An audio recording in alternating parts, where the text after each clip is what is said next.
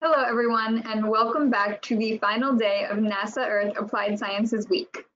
Over the past week, we've celebrated the many ways NASA Earth Science helps make our world a better place. Thank you all so much to everyone who's joined us this week. My name is Sydney Neugebauer. I'm a fellow with the NASA Developed National Program at Langley Research Center, and I'm your MC for the day. To remind you of a few housekeeping items before we begin, everyone is automatically muted, so please connect with us in the breakout sessions after the plenary today at 2.15 p.m. Eastern Time. For the complete agenda for today's events and links to those breakout rooms, please visit the event webpage or check out the handout section in the GoToWebinar panel. We'll also post links to those breakout rooms here at the end of our presentations today. So now I'll hand it over to Lawrence Friedl, Director of NASA's Applied Sciences Program, for our final opening remarks. Thank you, Lawrence. Great, thank you, Sydney, and uh, welcome, as she said, to the fourth and final day of the 2020 Applied Sciences Week.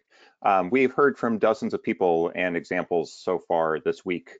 Uh, welcome back to those of you who have tuned in uh, previously, uh, and welcome also if you're just joining us today. Um, I got to tell you, you've missed a lot. But the good news is a full 25% uh, is still today. So there's lots, there's lots to hear. Uh, so we have 12 talks overall, including six from Develop, uh, and we hear about work in Asia by the SERVIR program, as well as uh, uses of Earth observations for the United Nations Sustainable Development Goals. Um, this week is also a capstone event for the 65 people who have been involved in the summer term for Develop, which is one of the programs within Applied Sciences uh, and as part of the capstone, I've been giving a challenge each day to the develop participants, or what we call the developers. Um, Tuesday was about communications and crafting narratives. Wednesday was about perspective, including especially engaging users to learn their perspectives and their concerns and, and even the language and lexicon that they have. Today is about attitude uh, and the importance of maintaining a positive attitude. Um, I, I, think when I think about this, sort of the a, a positive attitude essentially provides a constructive approach uh, and sort of a learning framework uh, as you as you go into new tasks. Uh, it also provides a, a, type of resilience as you and all of us, you know, will no doubt have struggles and setbacks. And so I think with a positive attitude, you can go in seeing things as opportunities. Um, a, a, quick story. I remember back uh, my freshman week in, in college, um, and I was having to go to take my swim test. Uh, and I was walking alongside an upperclassman, uh, and I was being cynical about the swim test and uh, and a little sarcastic, and I was trying to appear cool to this upperclassman. Uh, and he flat out looked at me and corrected me. He said, "Hey, you might meet your new best friend there." Uh, and it snapped me out of it and made me realize, wow, I really got to approach things as opportunities. And so I pass that on to you. But I also want to say that a positive attitude is more than just about you and internally. Uh, I think it needs to extend to others. Um, I, I, one, one time I, can, I, ran across a phrase that talked about assume positive intent. Uh, and I really encourage you to think about it and really encourage you to sort of internalize it. Um, I think so often uh, when someone at work or maybe a friend or a family member does something that you don't like, um, we make assumptions about their intent. Um, we make inferences um, and sometimes infer that people had really dubious intentions. Sometimes we get angry, but it's unwarranted. Uh, and so I'm challenging you to check yourself on that to prevent that. Uh, and so this phrase, assume positive intent, means that someone probably had a, a reason uh, perhaps a good reason for why they did something. Uh, and so I think you first need to give them the benefit of the doubt and simply ask them in a respectful way why they did something. And I think that invites a constructive conversation uh, and really sort of builds trust. So I hope you've appreciated these challenges throughout the week. Um, and I hope the develop and, and all the people listening will reflect on this. Uh, so again, today's challenge, positive attitude and assume positive intent. Now, Develop is just one part of this week and one part of the Applied Sciences program. Here to tell you more about Applied Sciences is Emily Sylak-Glassman. For all intents and purposes, she's the Deputy Director uh, of the Applied Sciences program. So over to you, Emily. Thanks, Lawrence, and I really like those those words. I um, I definitely um, agree. Like keeping a positive attitude just makes everything better. Um, okay welcome. Welcome to day four. Um, next slide please. I'm going to try to fly through these because i know some of you have, um, heard this a couple times now. So um, the applied sciences program sits within nasa's earth science division which has this amazing mission to understand our planet better and then use that understanding to benefit people. Next slide please. So um, we have four elements within NASA's Earth Science Division, and Applied Sciences is one of them. Uh, we work with our uh, colleagues from the flight element, which includes data systems, and those are the folks that develop, launch, and operate the fleet of satellites and then make sure all the data coming from those satellites down to the ground stations becomes freely open freely and openly available to anyone anywhere in the world um, which is uh, both amazing and takes a tremendous amount of work to, to get that all working we also work with our colleagues in research and analysis, and those are the folks funding and conducting this fundamental Earth system science to understand how do all the processes all over the world uh, fit together to give us this understanding of how, how the Earth works. Um, we and we additionally work with our colleagues from the technology office, which are the folks looking 15, 20 years in the future, trying to figure out what our problems are going to be and what technologies do we need to be developing and fielding and testing now so that we have the technologies we need when that happens. And all of these pieces fit together and we inspire one another with um, advances and we can bring uh, the challenges that one one of us is having and that might spur research in another part and, and that's how we drive this uh, drive, drive this forward. Next slide please.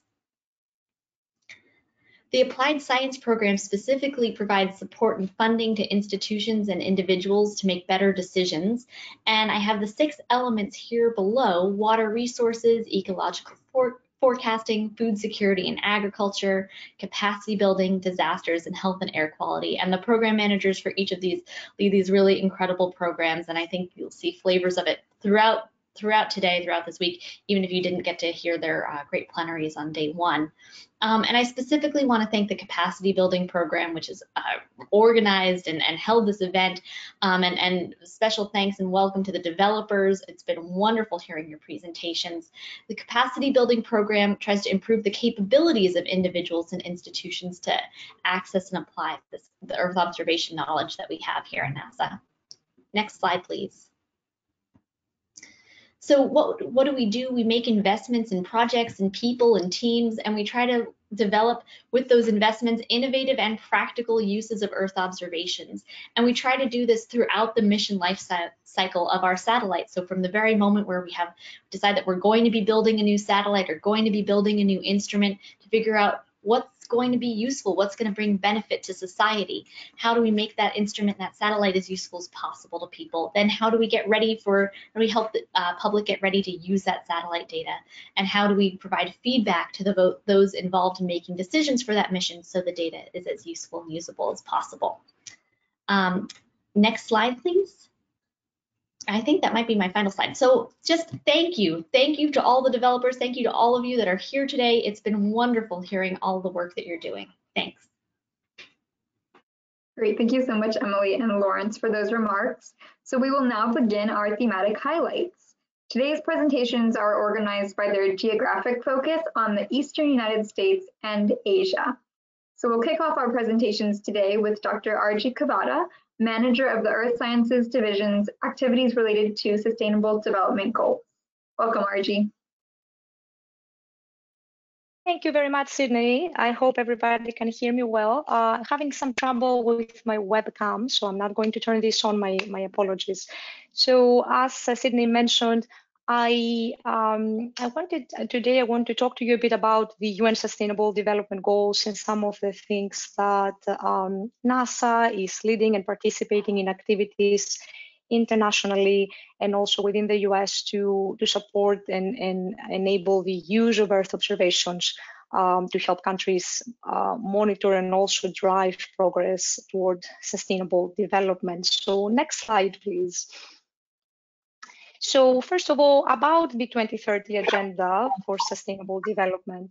So five years ago, world leaders gathered from around the world to adopt this agenda. And so this marks a milestone in the evolution of society's efforts to define and manage progress towards sustainable development in all its facets. social inclusion, economic growth, and environmental sustainability.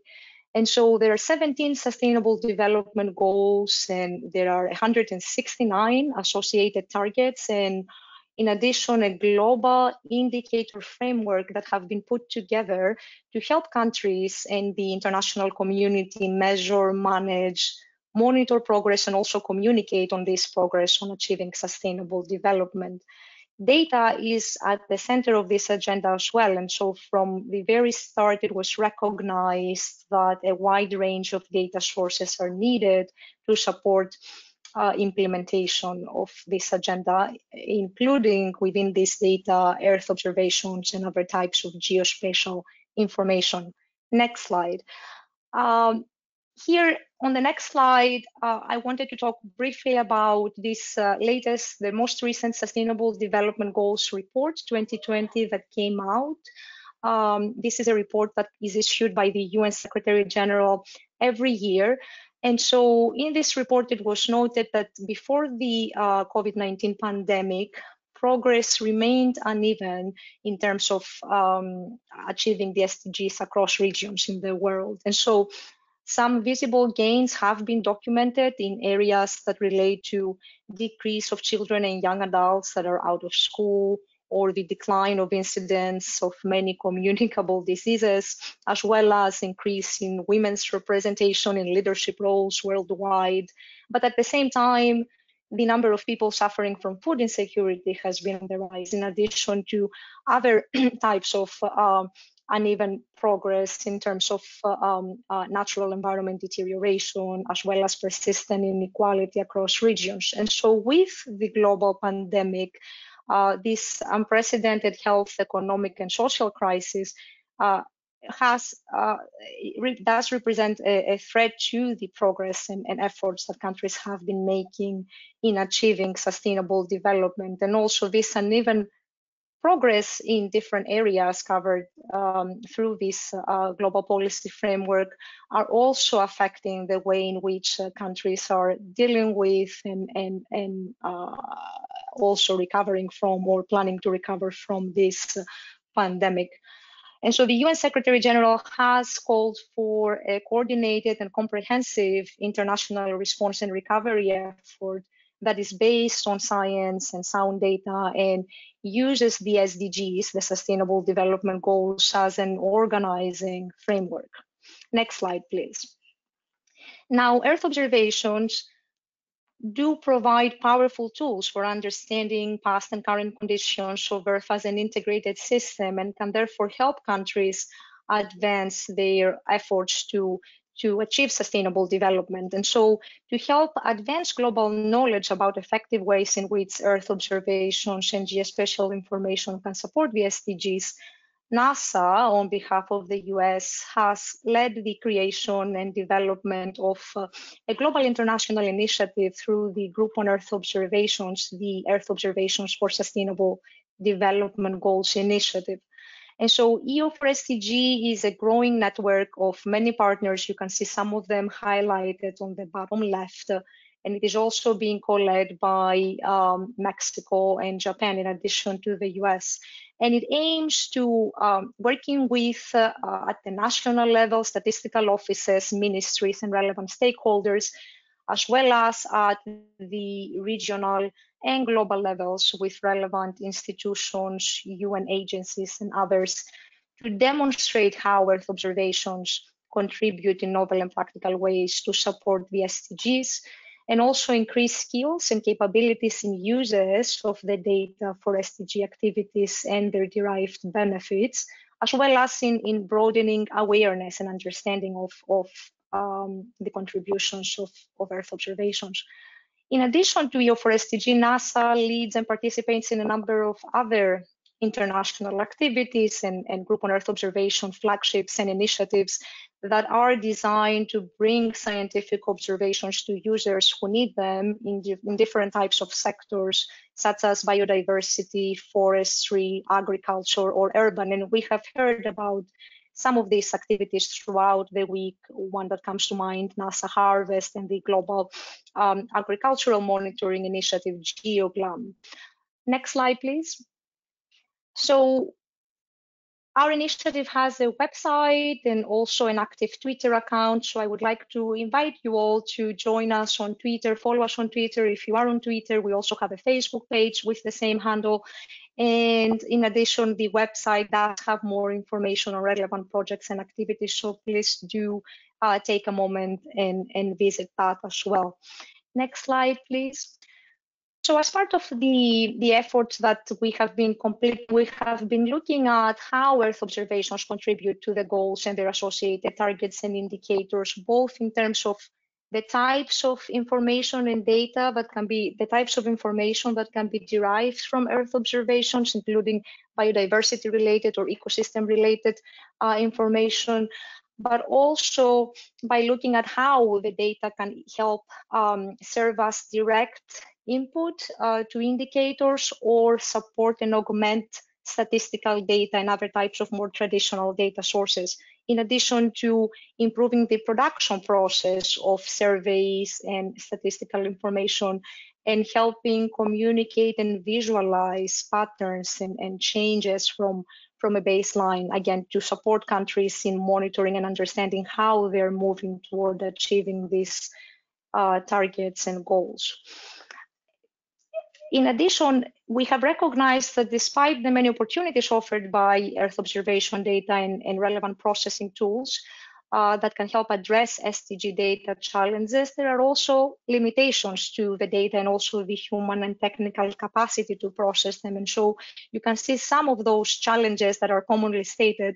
And so um, we are working, so NASA through its international uh, partners is working to help make advancements and improvements in many of those challenges.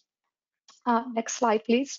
And so it's, it is doing that through many different activities, including projects, uh, from feasibility studies to more uh, full-fledged um, long-term projects, capacity development and co-design efforts, as well as different types of outreach and engagement. And so I wanted to highlight one of the projects that NASA is funding, NASA Applied Sciences Program is funding, which builds on NASA's earlier work in Central America under the SERVIR program and also serves as a demonstration project for the EO4SDG initiative. So this project uh, explore, uh, explores how Earth observation data, including moderate resolution NASA optical data sets, in addition to in situ measurements of coral reef extent, uh, water quality, as well as nutrient load, can be used to help Belizean uh, agencies, government agencies, um, with uh, meeting their sustainable development goal commitments, in particular on goal 14 um, to help uh, uh, sustainably use and um, maintain the marine resources for sustainable development, and also goal 15 on promoting sustainable use of terrestrial ecosystems. And so uh, this team is uh, working and has already um, visited Belize, uh, um, working with local institutions and in-country partners, uh, such as the Belize Coastal Zone Management Authority and Institute, to understand what, how, how, what are the needs of the Belizean people and how this can be met through this activity. In addition, they have perf been performing a variety of in situ data collection activities to help um, uh, both um, calibrate satellite imagery, but also examine indicators like total suspended solids to assess the amount of sediment and other particles floating in the water. And so these data are um, used or will be used to help develop a, a number of marine remote sensing tools to allow um, um, Belizean agencies to examine past and present trends and also forecast water quality trends using hydrological models. Uh, so this is just one example of a project of a team that is working within country partners, leveraging past activities that um, um, NASA has developed in the region, in addition to ongoing collaborations with regional institutions like SICA that we have heard about from Betsy Hernandez and others this week to support and, and help enable the use of the data um, uh, for um, in particular for these um, two relevant um, sustainable development goals. Next slide, please. Another activity that I wanted to briefly highlight through EO4SDG, we have been working to, um, to help identify and recognize um, examples of excellence and innovation in usage of Earth observation data for particular um, SDGs across across the world. And so you can see that this program, the GeoSDG Awards program, was launched last year, and um, you can see there the list of awardees from last year. One of them being Uganda for their work on applying Earth observation data to help predict a drought, which end up saving the government about 2.6 million US dollars that could then be used in relief after the drought. And so this award received national and local media attention and has helped um, develop even more support for the use of, of um, Earth observation data and technologies um, in not only food security related, but also other sectors. And so we are in the process of um, running through our next round of awards this year.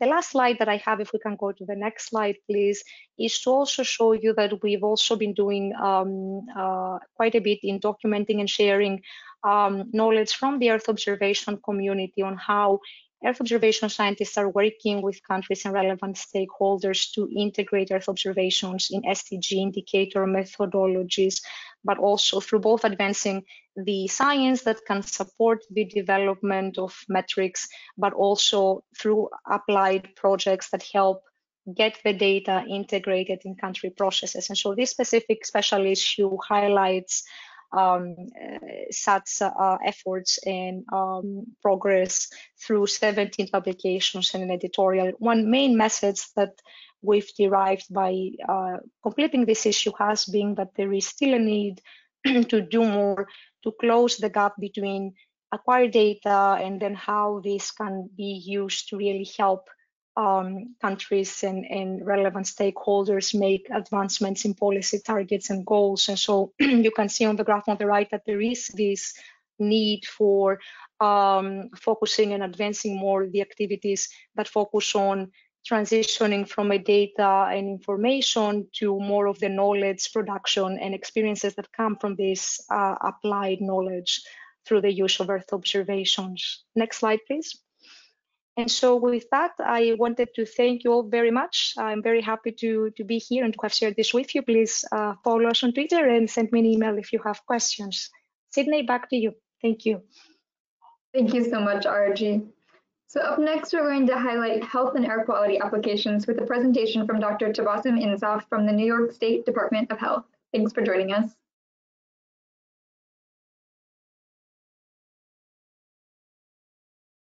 trying to unmute myself.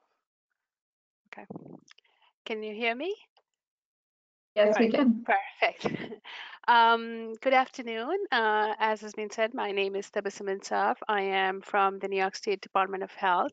And uh, today I'll talk about how we've used NASA's Earth observation data to provide evidence for climate and health policy at the state and local level. Next slide, please. Um, so this research and the public health actions informed by the research were made possible by grant funding from NASA. Uh, this was a NASA ROSES grant that we were awarded in 2015, but we've also leveraged uh, our other CDC grants, the mainly the Environmental Public Health Tracking Program and the Climate Ready Cities and State Initiatives to develop outreach and education around these efforts. Um, we also partnered with Florida Department of Health and New York City Department of Health and Mental Hygiene for these projects. But today I'm going to be highlighting the work that we've done specifically in the state of New York. Um, we have had great partners like uh, previous slide, please, sorry. Um, we've had great partners uh, like the University Space Research Association, the University of Alabama in Huntsville, and Florida State Universities. Uh, those were our academic partners. And we have a wonderful group of stakeholders and end users that have uh, made sure that our research is relevant to climate and health policy in the state um, of New York and Florida.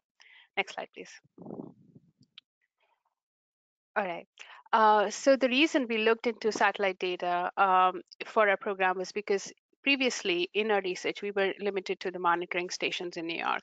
Um, so the first map on the left uh, top is the monitoring station in New York, and the gray boundaries are the county boundaries. And you can see that there are um, some counties that are actually do not even have uh, one monitoring station in that county. So we had sparse data, especially in the rural areas, um, and you know the urban areas we had um, enough monitors, uh, but there were very few monitors that could give us. Um, a long climate trend, uh, so that were functioning for uh, a, a, long enough time. Um, the second map uh, on the top panel uh, on the right is our spatial interpolation that we did uh, based on the monitor data. And you can see that we were looking at climate trends, and you can see that there are regional variations in climate trends, but the spatial interpolation was screwed because of the lack of monitoring in situ data. Uh, so then the NASA ROSES grant allowed us to use the 12 kilometer uh, North American land data assimilation system. That is the data set that we've used. Uh, that is the map on the right uh, in the bottom panel um, and that it provides us a uh, it's available uh, for the contiguous US and it allows us a uniform spatial surface to conduct research in rural and urban areas. We further downscale this using the MODIS uh, land surface temperature data set uh, to a one kilometer grid, which actually allows us to, to look at local effects like the urban heat, heat island effect and the coastal gradients in New York. Um, next slide, please. Um, so in New York, as in other places in the US, the National Weather Service is the primary agency that forecasts weather um, and issues warnings and advisories based on the maximum heat index forecast uh, over the next 24 to 72 hours. So we reached out to them uh, to understand how warnings were issued.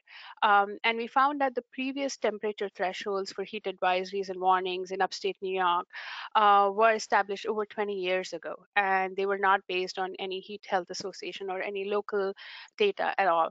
Um, so now that we had uh, the NLDAS reanalysis data uh, through the NASA ROSES uh, opportunity, there was this opportunity to conduct heat health analysis for all regions of New York. And we wanted to reassess this criteria uh, for heat advisory. So at that uh, point in time, the heat advisories were issued at 100 degree Fahrenheit uh, for the area. And if you live in New York, you would know um, that in a temperate climate like New York, there are very few days, if any, um, during summers that actually reach up to 100 or 105 degree Fahrenheit. Next slide, please. So why should we care about extreme heat in a temperate region like New York? And and I get this a lot uh, uh, in terms of you know why focus on heat in such a cold area. And as you can see in the map on the right, summer temperatures across New York have been increasing. Um, these are temperature anomalies calculated as a difference from the 30-year average or 30-year norm for that area. So although we don't have extreme temperatures or you know um, heat waves, uh, we do uh, see that there is the average temperatures of these areas uh, show a warming trend. And annual average temperatures have actually been increasing by over two degree Fahrenheit in 1970, with a prominent increase in the last decade. Uh, we took these data and started correlating these temperatures with data on thousands of emergency department visits and hospital admissions of heat-related illness, uh, such as heat stress, dehydration, renal illness, um, cardiovascular illness. And we found that a five degree Fahrenheit increase in temperature in that daily maximum summer temperature could actually double the risk of heat-related illness in New Yorkers. The risk of heat was sustained four to five days after exposure. And both urban and rural areas were at risk. So previously, you know, the urban areas were where all our warnings were focused on, but we found that rural areas were also at risk. And the threshold temperatures for risk actually appeared to be lower in the rural areas. Young adults are at as high risk as uh, for health effects of heat. Uh, probably due to uh, you know recreational and um, occupational exposures. So that was another uh, area that you know we we started focusing on. Next slide, please. So then we decided to look into these thresholds for risk of illness. And these charts show the risk of illness at different thresholds, different values of the maximum heat index. Uh, the excess risk temperature is that red dot on these charts. And this shows where we start seeing statistically significant risk of illness. So above any temperature above that red dot, so that uh, is is a significant risk of illness. And uh, for heat stress, this was de defined as 84 degree Fahrenheit, um, and it was actually even lower for uh, the outcomes like dehydration, kidney failure, and cardiovascular disease. And if you look at that blue line, that is the 100 degree Fahrenheit mark, which was the uh, the advisory, uh, the previous advisory. Um, and you can see that there is uh, actually a pretty significant risk of illness at temperatures lower than the heat advisory. So then when we we went back to the National Weather Service with this evidence, um, and uh, you know we were uh, we worked with them, uh, and they chose to revisit the heat advisory criteria for the region. Next slide, please. So this chart shows you the revised regional heat advisory criteria, uh, how that looks like now. So we recommended, and the National Weather Service offices in New York and the surrounding Vermont region uh, actually changed all their heat advisory criteria effective June 1st, 2018. Um, and so we the advisories are now issued at 95 degree Fahrenheit for more for uh, or more for two consecutive hours. And this was also conveyed in Governor Cuomo's um, press release, um, and NASA did a web feature on this, and we've you know uh, done a whole outreach campaign um, around uh, uh, risk of heat illness in New York State. Uh, we believe that this change would capture a high proportion of heat events likely to result in significant morbidity. But uh, you know, we, we know that the risk actually starts at much lower temperature, but we wanted to avoid a warning fatigue if frequent advisories were issued at lower temperature. Next slide, please. So in addition to the weather advisory change, we have used these Earth observation data to provide our local health departments with detailed climate profiles for the region. For example, you can see this is a county heat and health profile report that's available on our website. So each county has this report and um, you can see in this chart, the the chart in the middle uh, shows the base uh, shows the uh, temperature anomalies uh, for this county. Um, so the baseline there is the average temperature in the last 30 years. And the blue lines are when the temperatures were lower than the average for that year. Um, and the red lines show uh, any temperatures that were higher than the 30 year average for that county. And you can see that in the recent years, especially uh, after 2011, um, there is a one to two degree uh, increase in temperature, increase in average temperatures. And 2016 for Cortland County was even four degrees higher than the norm. Um, and we see this trend across all our counties. Um, we also provide uh, the chart on the right. Bottom is uh, the heat-related illness for that county, and the chart on the bottom uh, upper corner, uh, sorry, the chart on the top corner uh, is our uh, projections for that county. So we are we also provide each county the projections based on different energy scenarios about how the um, the temperature would look like in the next hundred or so years, based on the climate policies. So the, we hope that these will be able, uh, the local health departments will be able to use these uh, profiles to inform their policies um, as they move forward. Next slide, please. Finally, uh, we've updated our environmental public health tracking portal. So this is a portal where we provide data in a very uh, usable, uh, user-friendly and uh, simple format with simple messaging for the public. Um, and here you can see that we actually have started providing really detailed sub-county maps and uh, temperature trends uh, for all areas across states. So people can go in, look at their area, and look at how uh, climate is changing across the state, across their area, um, and uh, then correlated with other climate information that is uh, on our webpage. Um, and so this is all also available publicly for download. And um, we aim to also provide our uh, 12 kilometer and one kilometer data sets to researchers on um, demand so we can we can provide that uh, for anybody else who would like to you know replicate these analyses So as a concluding thought, uh, the time and resources that we've invested in learning about the Earth observation data has been very rewarding from a, program a programmatic perspective.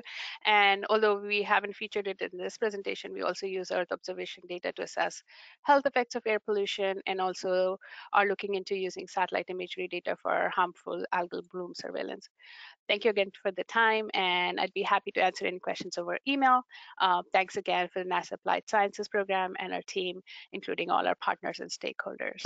Thank you. Wonderful, thank you so much. And now we're going to hear about some related work from Sophie Barrowman, a participant with the Develop program at our Boston location. Welcome, Sophie. Thank you, Sydney.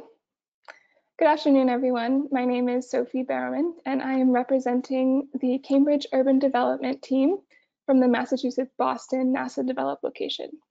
I'll be telling you a little bit about our team's work on quantifying changes in urban albedo to reduce the urban heat island effect in Cambridge, Massachusetts. Next slide, please. While Cambridge is historically considered to have a cold weather climate, as a populous urban area, it is susceptible to rising global temperatures. Cities with dense buildings, dark impervious surface, and a lack of vegetation experience a phenomenon called the urban heat island effect, where urban environments are several degrees warmer than surrounding rural and suburban areas. Approximately 60% of Cambridge is impervious surface, which contributes to increasing urban heat. By 2030, Cambridge is expected to experience overall warmer temperatures and as many as triple the number of days above 90 degrees Fahrenheit per year. Elevated temperatures are associated with increases in heat-related mortalities, energy consumption, air pollution, and impacts to local biodiversity. These impacts may be exacerbated by climate change and heat waves. Albedo is a unitless measurement of reflectance defined as the proportion of solar radiation that is reflected by a surface. If you could please click next, the next figure, thank you.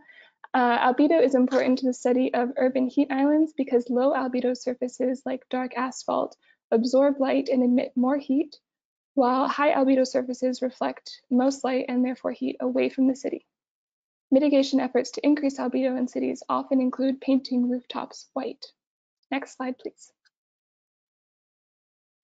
To address these community concerns, we partnered with planners at the City of Cambridge Community Development Department, as well as the American Geophysical Union's Thriving Earth Exchange.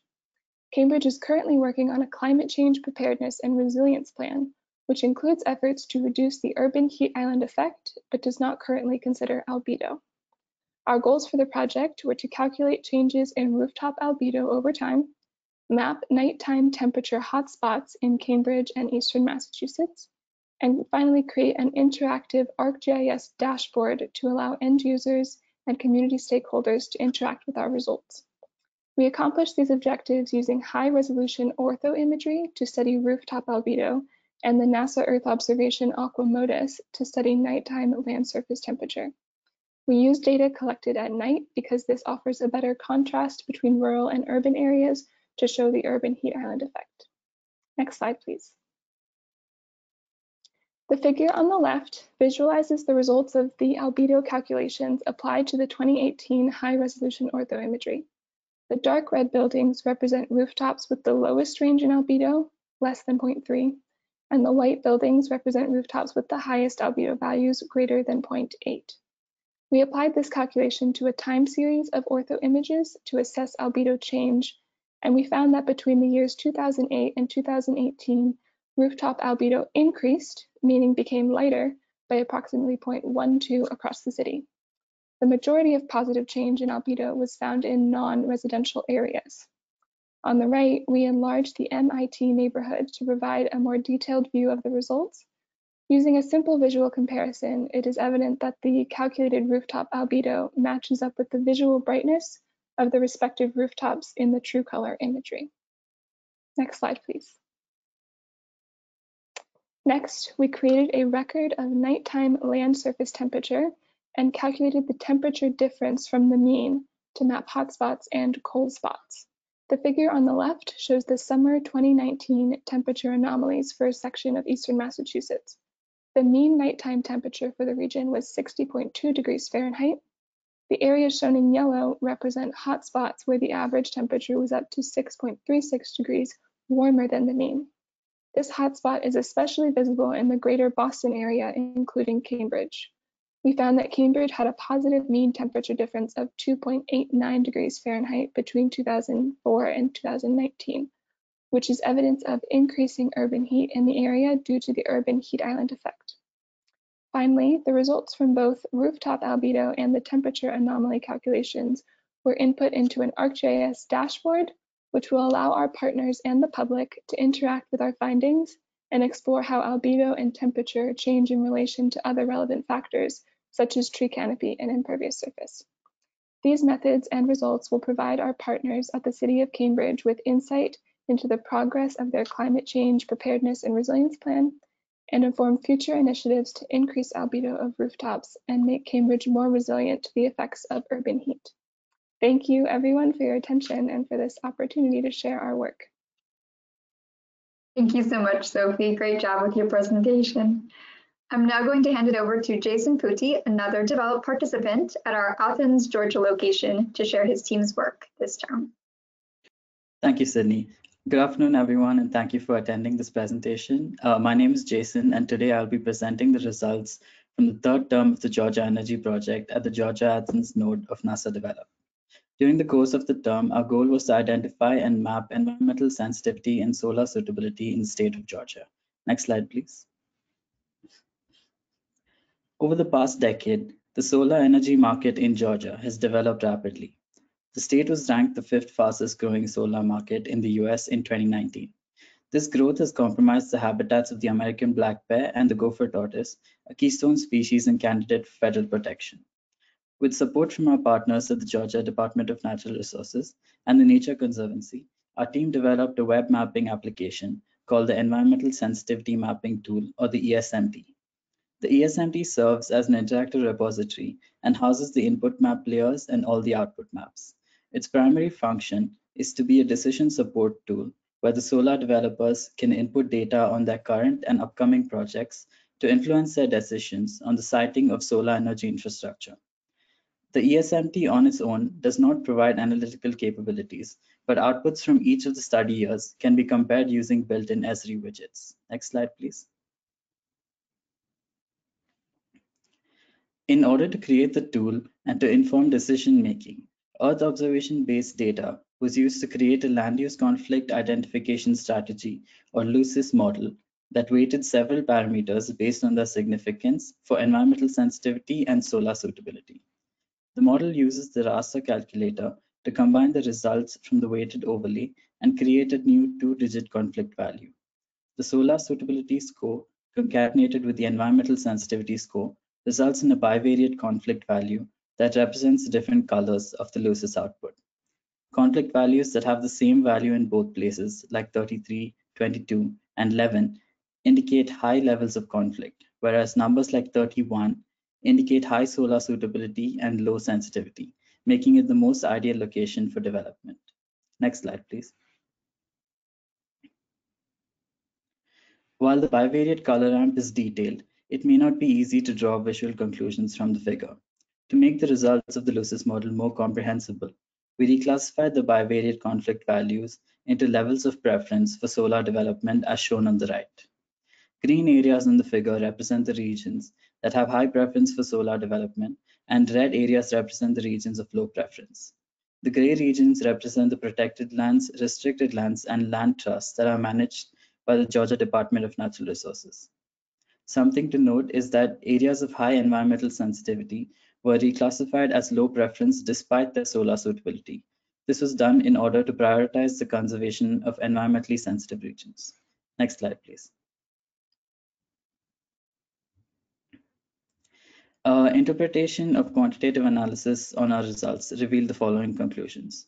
Overall, the state became more suitable and preferable for utility scale solar development, and there was an increase in the overall preference for development by 1.5% between 2017 and 2019.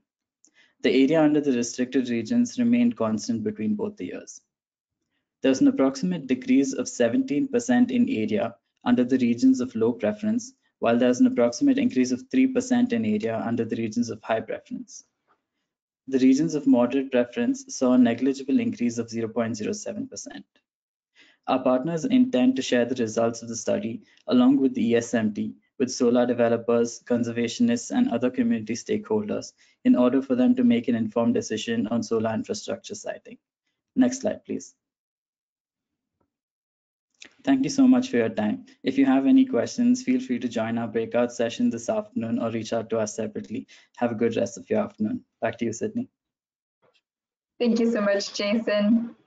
I'm now pleased to introduce Dr. Charles Huyck, Executive Vice President of ImageCat, to share a disasters highlight with us today. Welcome.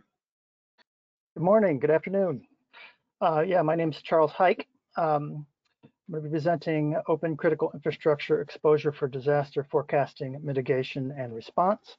Uh, we're working on this grant, several of us at ImageCat, uh, but we've got project partners uh, Hot OSM and uh, Bob Chen and Greg Yetman at CIESIN are also working with us. So uh, what's the problem here? What are we what are we working on? Um, the problem is that um, when critical infrastructure is damaged, it, uh, it often causes disasters to cascade into catastrophes. Uh, you can think of this in terms of uh, what you know about Katrina. It wasn't the direct um, surge or wind on the buildings that caused most of the damage. It was the the breach of the levee that uh, that flooded the city and uh, and, and so, um, ended in a lot of economic disruption and migration. Uh, Tohoku earthquake is another good example where the nuclear power plant um, meltdown uh, was arguably more damaging and disruptive economically than um, than the actual uh, tsunami wave or the ground motion. So our hope is to develop something along the lines of Landscan, uh, an industrial and critical infrastructure database that could be used to identify where these sort of um, accidents are, are waiting to occur. Next slide, please. Okay, so the context that we're working with, uh, we're working within here is uh, that of loss estimation or CAT modeling, as it's called in the insurance industry. This is where you take a flood, um, hurricane, tornado, uh, earthquake, and project what the likely losses and effects are going to be. So we do that before events to, to as training scenarios to figure out, you know, if a Cat 5 uh, hits Miami, uh, what's likely to be the effects, where should you stage resources, uh, how should you uh, prepare for that uh, during an event, actually as it sort of unfolds, as the hurricane approaches, for example, whether you need to um, uh, proactively stage resources or, um, or evacuate or in the terms of earthquake, shut down critical infrastructure. Post-event, where you need to send out resources. and then average, um, on average, if you have uh, a whole library of events in a catalog, you can run through them iteratively um, and figure out, you know, where where building codes are justified, uh, where you should be mitigating critical infrastructure, uh, and uh, what you should charge for for insurance premiums. Next slide. But what happens is often very different than what we predict um, now, and largely it's because of these sort of critical infrastructure failures. And my favorite example here is uh, the floods in Thailand of 2011. A uh, few hundred buildings there on the river in Bangkok got flooded. Uh, should have been very easy to spot given um, you know Southeast Asia, lots of uh, lots of flooding right there in the river and so forth. But it wasn't clear what was uh, going on in those those facilities. It wasn't well known by the global industry. It's not tracked by supply chain databases, and so it really caught people off guard when these uh, facilities flooded. You had cascading failures in um, automobile industry and flash drives that were created there. And in the end, next year, the uh, GDP of Thailand shrank by um, almost 11%, which is, you know, real money, real jobs, um, people feeding families and so forth. We often don't think of this uh, as catastrophic as uh, building damage, but in fact, it does uh, impact people's lives greatly, particularly uh, in developing economies. And so this has, uh, by the way, become a very um, big focus of um, the SDGs and the Sendai framework to try to, to um, uh, characterize this type of, of, of disruption. So next slide, please. so often when uh, we talk about this, people say, well, you know, you've got critical infrastructure data uh, in GIS data sets. Why don't you just use that? Um, but in fact, it's very difficult to get all this together um, and practically impossible. Um, I would say, and even if you did so, you'd have uh, quite a few problems. Uh, first of all, um, there's legitimate security concerns uh, in releasing critical infrastructure data, as I'm sure you can all imagine. Uh, a lot of it's privately held. Um, you've got uh, reporting bias. Um, many utilities and uh, entities are better at reporting than others, so you just come up with the answer that that's where your your problems were, where in fact there might be much bigger problems. So um, EO data offers an, an, alternative that's sort of uh, all-seeing um, uh, and objective uh, in that regard, but um, you know obviously you can't uh, see into buildings, seeing what's going on in there. It lacks certain, it lacks the attributes. You can't see things like pipelines, um, and it lacks conductivity. But our, our hope is that we would be able to use this uh, to prioritize more detailed risk assessments um, that would be done um, in areas like Bangkok, Thailand once you've uh, identified potential problems. Next slide. So this is an example, uh, one more. This is an example from uh, Gujarat in our pilot state in India.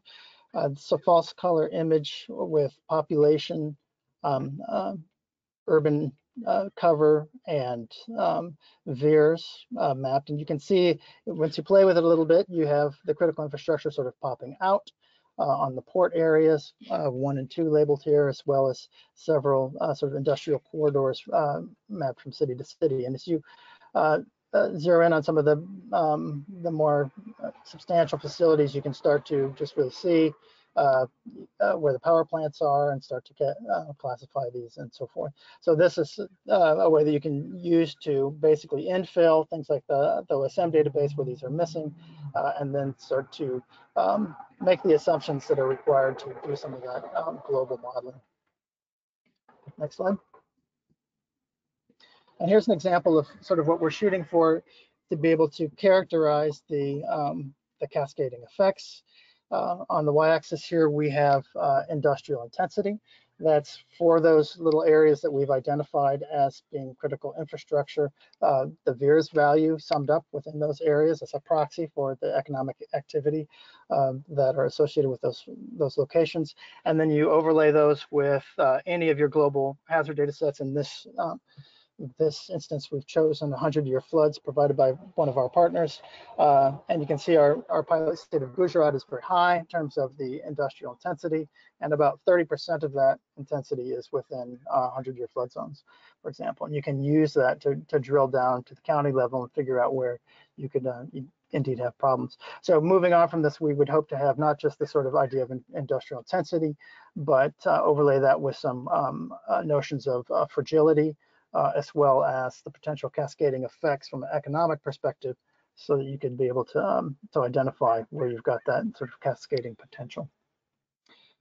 Next slide. And this is an example from the uh, latest typhoon to go up um, through uh, the Bay of Bengal, I think it is. Um, and we've just um, um partnered with our friends at Kinetic Analysis Corporation to get their estimate of uh, the surge intensity and then overlaid that with our extracted infrastructure and we're able to drill down and, and find areas that uh, indeed might be of um, uh, danger of, uh, of, surge damage and we're able to uh, provide that to the Indian government. This is on the opposite side of India as our, our pilot state, but you know with EO data we're able to do all of India and have this sort of in our back pocket um, and we're able to provide that, provide that to them. Another uh, thing that we're working on doing um, is partnering with another A37 grant um, disaster aware Megan Glasscoe's group to be able to provide this uh, this information within their flood modeling um, um model of models approach. Uh, to set up alerts, uh, this is something that's of particular interest to our, our pilot city in Gujarat of, of Vadodara. Okay, uh, next slide. And that's all I have. I'll be a around for the uh, discussion session if you have any questions on our material. Sydney. Great, thank you so much. Alrighty, we're going to continue to explore disasters now with a presentation from Erica Munchie, a developed participant at Goddard Space Flight Center, and she's going to share her team's work this summer. Thanks, Erica. Thanks, Sydney. Uh, hi, everyone. My name is Erica Munchie, and I had the pleasure of serving as the team lead for the third term of the Ellicott City Disasters Develop project. So during this term, we built on the work of two previous developed teams to create a real-time flood prediction tool for early warning systems in Ellicott City, Maryland.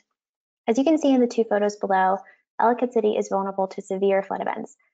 The pictures shown here illustrate one particular flood event in May of 2018 when over 20 cars were washed into the Patapsco River over the course of just two hours. The intensity of these floods illustrates a need for an enhanced early warning system, which is the primary motivation behind our project. Today, we are excited to share the progress we've made in creating a real-time flood predicting flood model predicting tool to address these concerns and support proactive decision making in the future. Next slide, please. So as I mentioned, Ellicott City is particularly vulnerable to flooding has, and has experienced over 10 extreme flooding events within the last 100 years, but two particularly devastating flood events since 2016. As you can see in these time lapses, the intensity of these floods is severe enough to move cars, destroy buildings, and wash out roadways. It's especially important to recognize that the damage incurred by these flood events leaves a lasting impact that harms businesses, residents, and public infrastructure. In order to protect the city, the Office of Emergency Management has developed an early warning system to alert residents of flood events before they occur. Our goal is to help improve this early warning system through implementing a real-time flood forecasting tool. Next slide, please. Our methodology has three primary stages, data acquisition, model development, and real-time model output. We use a variety of both in situ stream gauge data as well as NASA and NOAA Earth observations to train and test our machine learning model. We also use real-time weather forecasts to allow our model to predict further out into the future. To develop the model, we use a deep learning architecture based on something called the long short-term memory cell.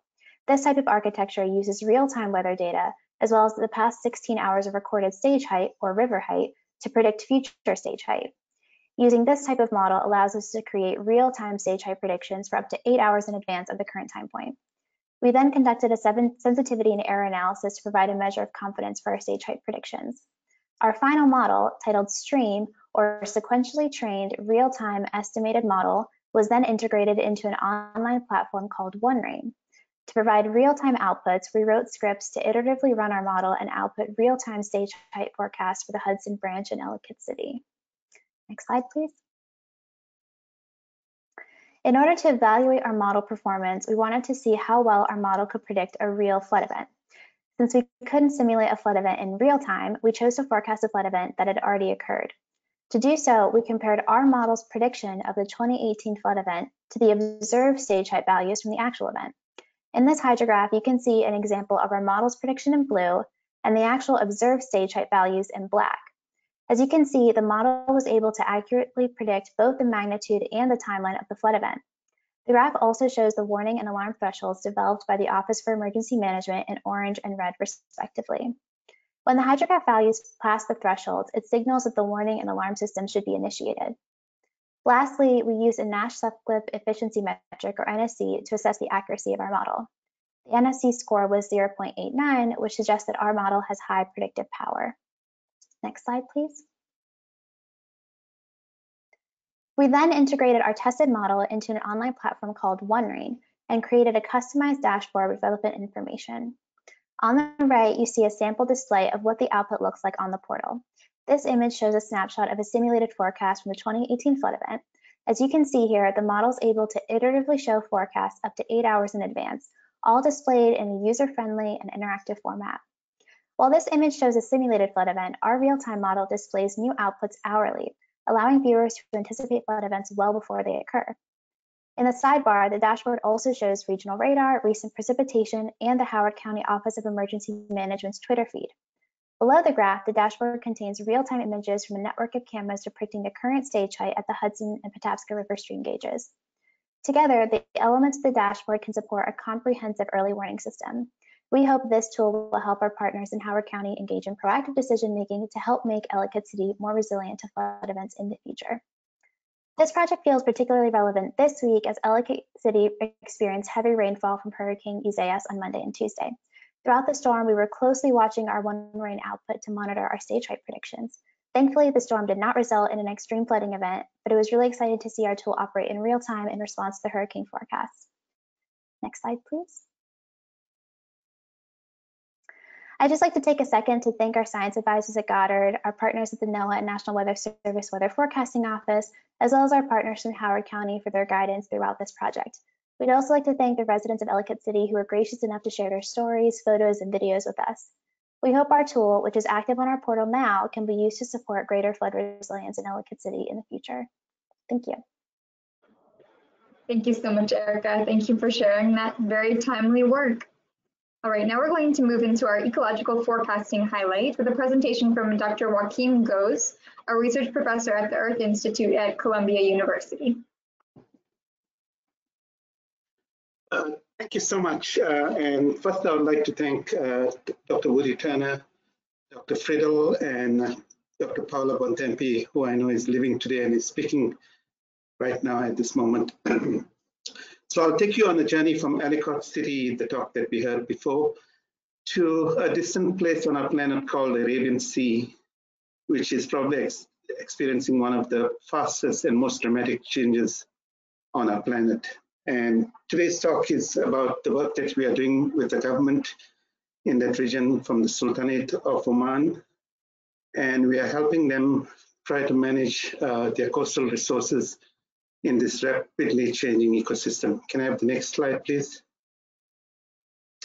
So just to give you some perspective, um, you know, when I talk about this project, many people ask me, why is NASA spending so much of money in a distant place on our planet, which is unrelated to the United States? And you have got to realize that this area occupies a small footprint of our planet, but it's around this area we have one of the densest populations on our planet. About a third of our uh, Earth's uh, population lives in this region. And this area um, supplies most of the oil resources to uh, many of the countries around the world. So it is, in terms of our energy security, it's a very, very important place. And this area is under the influence of the monsoons. So any changes in the monsoons affects this area and the cultural economies of many of the countries around this area. So it's a threat to food security. And if this area becomes really unstable, it, it, it is a threat to our national security. Can I have the next slide, please? So just to give you some perspective, the Arabian Sea is a monsoonally driven uh, ecosystem and its productivity is controlled by this reversing monsoons that happen twice a year. And during the summer, the winds are from the southwest, and as these winds blow across the coastal waters of um, of Somalia, Oman, and Yemen, they create what is known as coastal upwelling. And you see these huge blooms of phytoplankton in winter, you have the reversal of the winds. Uh, the Indian subcontinent becomes very cold because of the snow that builds up in the Himalayan mountains. And you have this cold, dry winds blowing from the continent over the Arabian Sea, which uh, cause a phenomenon called winter convective mixing, which brings up nutrients and again fuels huge blooms of phytoplankton. So this area is very, very productive in terms of uh, fisheries and so, and the fishery itself sustains about 150 million people uh, directly or indirectly. Next slide, please. So in 2005, uh, one of the things that we saw uh, is that the Arabian Sea was becoming very, very productive. Uh, can I? Yeah. So, um, and we found out that this change that was happening from 1997 to about 2005 was due to the melting of snow in the Himalayan mountains. And we showed that this melting of snow actually was causing the winds to intensify, coastal upwelling to intensify, and this was giving rise to huge blooms. And so at the bottom, you see uh, how much change occurred from 1997 to about 2005. So this area became really very, very productive over a short period of time. So one of the questions that I'm always asked is, so if phytoplankton increased, you would get more productivity and more fisheries. But unfortunately, the Arabian Sea is landlocked to the north, and so, and the circulation is very sluggish, especially at the bottom. So all this organic matter that is building up actually contributes to lo the loss of oxygen at depth. And the Arabian Sea, like the Gulf of Mexico, has got a permanent oxygen minimum zone in the next slide, as you will see, uh, this oxygen minimum zone loss um, extends from about 150 meters to about 1,000 meters.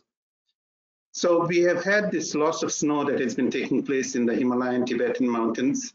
And the um, winter, uh, the summer monsoon winds have intensified, and you have a lot of organic matter being produced, and so that is sucking out the oxygen from the system. And so this oxygen minimum zone is expanding. Uh, conversely, in the winter, when you have had uh, less snow in the Himalayan Tibetan mountains, you have the winds that are coming out from the mountains that are warmer and more humid than they used to be. And one would expect that this process of winter convective mixing would be weaker. Uh, can I have the next slide, please? And so you would have less phytoplankton.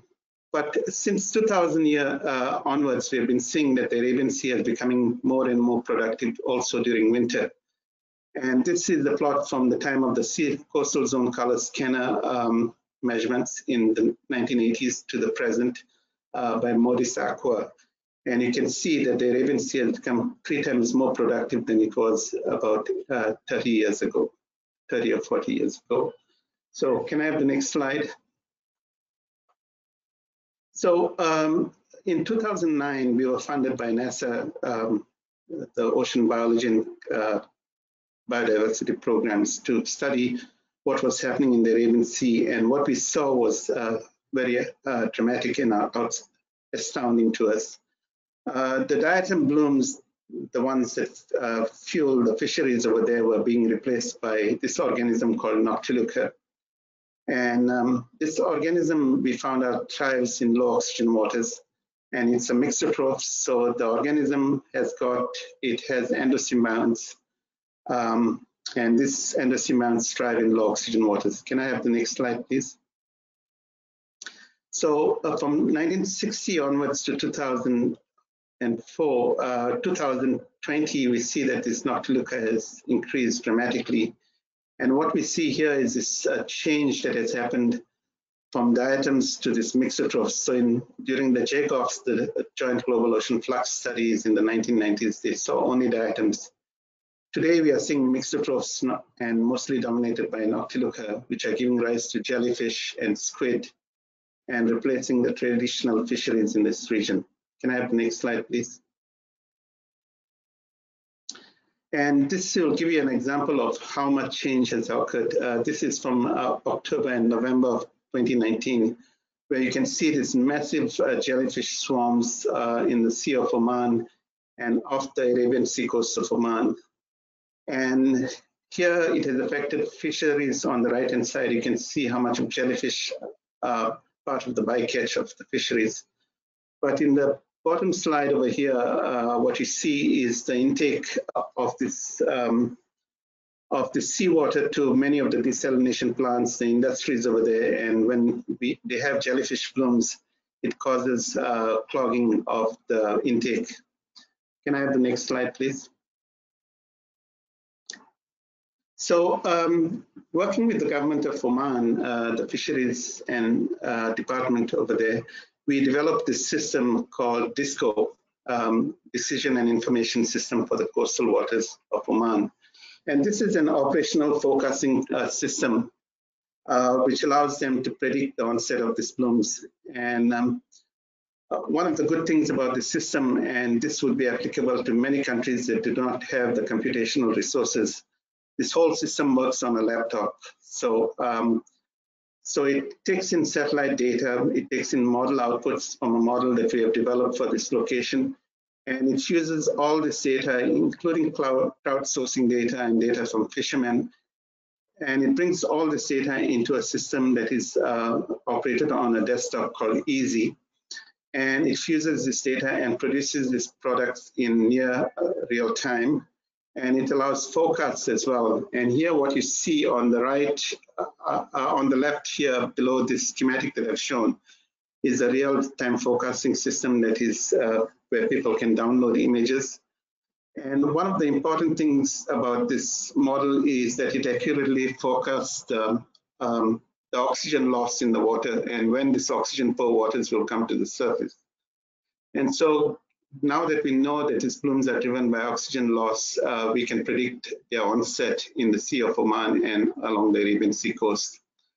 So this system provides um, many other kinds of products that are used to the fishermen over there, the sea state five days in advance so they can plan their fishing activities. On the bottom over here, you see this fish kill that occurred. Uh, we use this tracer technology uh, that is in, embedded in our system that tells you that this fish kill that occurred was due to the loss of oxygen and surfacing of this oxygen water that came into this region. So we are offering this system uh, to many, many um, stakeholders, and these include desalination plants that take in fresh seawater um, and whenever there's an algal bloom, it leads to clogging of their, their whole operations uh, to the oil industry and to aquaculture farms. Now, this is a very uh, useful system, and we have had requests from many countries in the region uh, requesting for their use, for its use for their own problems, um, which mostly stem from this uh, harmful algal bloom called Noctiluca. And uh, this system is now being used for uh, various other purposes like monitoring um, turtles and whales. And uh, um, it can be used for activities that are concerned with uh, the UN SDG goals 14. And can I have the next slide, please? And I think that was my last slide. Thank you. Wonderful. Thank you so much for that presentation. So up next, we're going to hear a few water resources presentations from our developed teams. First, we'll hear from Wilson Good, a developed participant at our NCEI location in Asheville, North Carolina. Thanks, Sydney. Uh, my name is Wilson Good, and I'm representing the NC Cherokee Water Resources team. Our, product, our project used NASA Earth observations to address community concerns related to water quality and the health of watersheds by focusing on a foundational tree species in this environment, the hemlock. Next slide, please. Our project partner was the Eastern Band of Cherokee Indians Natural Resources Department, responsible for the conservation and management of over 50,000 acres of Cherokee land in the southern Appalachian Mountains of western North Carolina. Hemlocks, a crucial component of the environment producing numerous ecological services, have been facing widespread mortality in the southern Appalachian since about 2004. Not only does the hemlock provide habitat for animal species, for example, the endangered Carolina northern flying squirrel, but they also support healthy aquatic environments by stabilizing water temperatures and mitigating erosion. Because of their importance to aquatic environments, our study revolved around the watersheds that encompass the EBCI lands, especially the Oconaluftee watershed. This project serves as an introduction and case study of some remote sensing methods for forest health monitoring and change detection that the EBCI could implement in their further use of remote sensing. Next slide, please. Our project used two primary methods. Uh, the first was an NDVI change analysis, and the second was a suitability analysis. The team utilized Landsat 5 to create yearly winter NDVI images of the study area from 2000 to 2011. NDVI is the normalized difference vegetation index, which highlights the vegetation greenness of an area using surface reflectance in the red and near infrared bands. We compared average winter of 2003 and 2004 NDVI to average winter 2009-2010 NDVI in evergreen and mixed forest types to identify areas with the greatest NDVI decline, which could represent high hemlock mortality. The red, white, and blue image on the left emphasizes areas that exhibit a decline in NDVI over this time period in shades of red, and areas that increased in NDVI in shades of blue. Known hemlock polygons within our study area were provided by the Hemlock Restoration Initiative and Great Smoky Mountains National Park. This information was used to identify topographical and environmental features most likely to support hemlock growth. These features included proximity to streams, forest type, slope, aspect, elevation, and summer and winter NDVI values. The importance of these features were weighted, leading to the creation of a map of locations most suitable for hemlocks within our study area.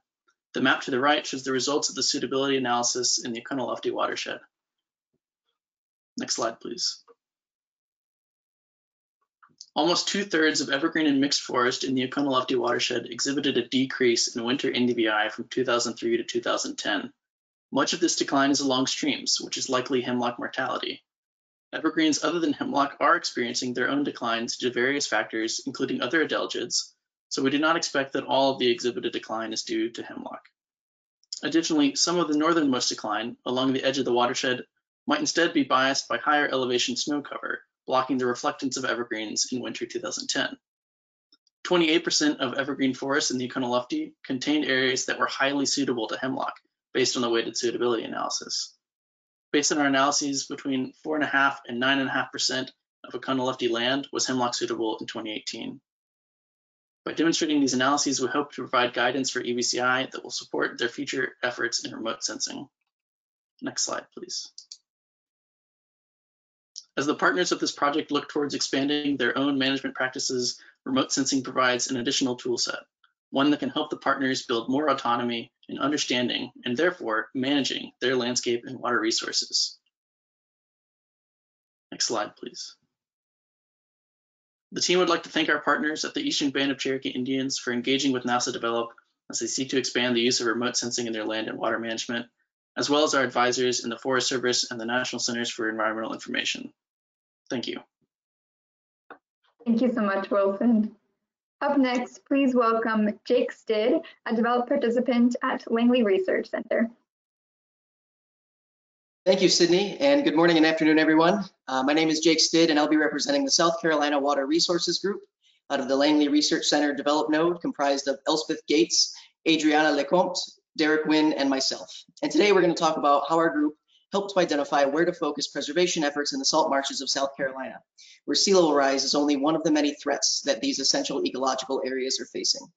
Next slide, please. So salt marshes like those in South Carolina provide many services, including commercial fisheries, carbon sequestration, storm surge buffering, and flood mitigation. Both natural and anthropogenic phenomena such as storm events, sea level rise, dredging, and urban development threaten salt marsh sediment budgets and thus the stability and long-term health of the marsh complexes. Specifically, over the last decade, the increasing occurrences of these phenomena have drastically affected sediment dynamics within the marshes. This poses a need to focus preservation efforts in marsh regions affected most by these events in order to ensure their survival. This product partnered with the South Carolina Department of Natural Resources, the USGS Woods Hole Coastal and Marine Science Center, and the South Carolina Department of Health and Environmental Control.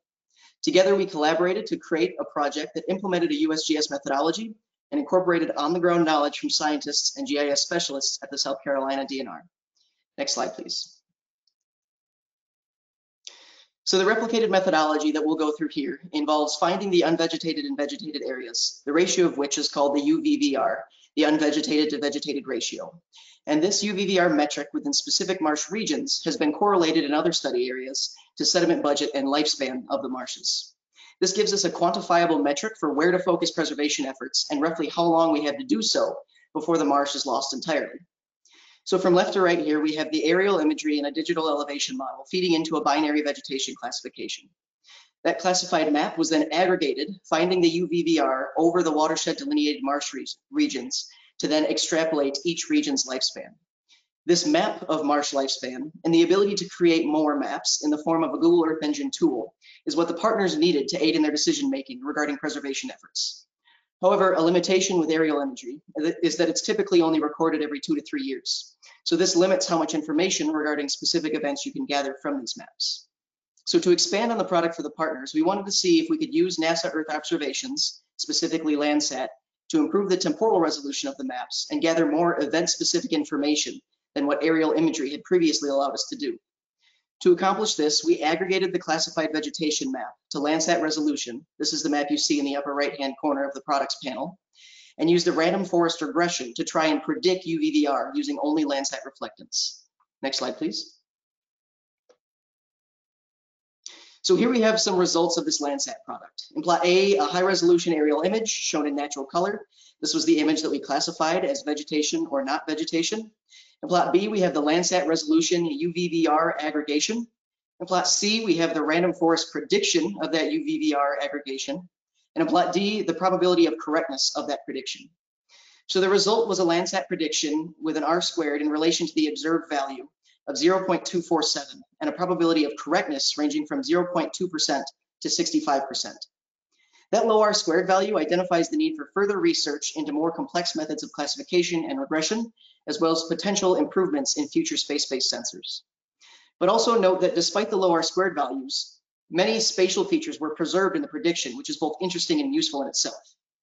I will also mention that we did create the maps that I spoke about before of the physically meaningful marsh regions and their respective lifespans calculated for 2009, 2015, and 2019. And what those maps showed is that in 14% of the study area, or roughly 17 square kilometers, marsh lifespan had decreased an average of 60 years over the last decade. Even more, 52 years of that lifespan decrease occurred over just the last four years. These regions with decreasing lifespans are where preservation efforts should be focused. Next slide, please. So those completed marsh region maps will be used by the DNR and the DHEC to focus preservation and restoration, restoration efforts on the 17 square kilometers of marsh with short or decreasing lifespans. In addition, the code that was used to replicate the methodology will enable the partners to easily deploy this tool along the entirety of the South Carolina coastline. The random forest relationship between Landsat and UVVR, when expanded upon in future research, will yield higher temporal resolution maps of marsh vulnerability. So with that, I would like to thank the South Carolina Water Resources team, our partners, and the Develop support team. And I hope you enjoyed learning about how aerial and space-based imagery can be used to focus salt marsh preservation and restoration efforts. Thank you. Great, thank you so much, Jake. Up next, please welcome Palchun Wangchuk, a developed participant from our Goddard Space Flight Center location. Thanks, Sydney. Um, hello, everyone. Thank you for joining us today. Uh, my name is Palchun Wangchuk, and together with Tashi Choden, Kinlay Pemdem, uh, Sonam Choden, and Kyalzong Jigme, we are the Southern Bhutan Ecological Forecasting Team. And this summer, we had the pleasure of working on modeling Asian elephant habitat suitability along the southern Bhutan border with uh, using NASA Earth observations. Next slide, please. So uh, since 1986, the Asian elephant has been listed as endangered on the IUCN Red List as their population has declined by at least 50% over the last three decades. The Asian elephant faces threats of extinction throughout its range, mainly due to human-elephant conflicts. The elephant population is distributed throughout the Indian subcontinent and Southeast Asia. Asian elephants are a flagship species and are environmental engineers whose conservation is essential for the functioning of Bhutan's subtropical forest ecosystems. There has been an increase in incidents of human-elephant conflicts due to recent clearing of forests, creating close proximity of human settlements to forested areas. This has led to retaliatory killing and injury of elephants and also results in farmers in southern Bhutan risking their annual harvest as well as their own lives. So we partnered with the Bhutan Foundation and the Bhutan Tiger Center to address this issue. We focused along the southern Bhutan border with specific interest around the Gelephu region, a fast developing town with an increasing number of human elephant conflicts in recent years. Uh, we also referenced data from 1999 to 19, uh, 2019 to cover a 20 year time span for the study period. Our objectives were to produce land use and land cover classification maps to serve as reference for historical uh, land use trends for our study period. We also created an elephant habitat suitability model for 2019 which will help in identifying wildlife corridors. Next, please. to train and run our habitat suitability model, we focused on collecting nine different variable data sets. The variables we decided upon were land cover classification, normalized difference vegetation index or NDVI, annual average land surface temperature, population density, annual average precipitation, elevation, slope, distance to rivers, and distance to roads. Through communication with the partners and also through a literature review, these variables were selected because they are good indicators in studying Asian elephant habitats. Next, please. So now, um, as you can see here at the bottom of our screen, this is our land cover map for the year 2019 that has been clipped to our study area. So we created this through an unsupervised classification method in ArcGIS Pro where uh, which we which use training data and a machine learning algorithm to identify different land cover classes. We grouped these classes and reclassified them into these five categories, or sorry, six categories, which were the most significant in the context of elephant habitat. To process and analyze our data, we used the software packages ArcGIS Pro and SAHM, the software for assisted habitat modeling. We took the nine different variable data sets prepared in ArcGIS Pro and pre-processed it into SAHM. We received elephant data from the partners and combined it with more samples from internet crowdsourcing to help increase the accuracy of our research. The data sets we received from the partners um, were collected via camera traps and radio collar, which were very useful in our research. SAHM incorporated multiple habitat suitability models in computing our results, of which included the boosted regression tree and random forest models. The models took all of our training data and printed out maps that displayed the habitat suitability of Asian elephants throughout our study area. Next, please. So now uh, up here in the top right corner um, is a probability map from one of our four models in SAHM, the boosted regression tree model. So the areas in blue represent the lowest probability of elephant occurrence and red represents the highest. And you can also see yellow and light blue up in the river valleys. Um, we can also see some color variation along the southern border of Bhutan, indicating high elephant occurrence in those areas. The SAHM results suggest that elephants tend to occupy areas near roads and waterways and prefer warmer regions. Our suitability maps suggest where more camera traps can be installed to identify potential areas and expand understanding of Asian elephant habitats in Bhutan.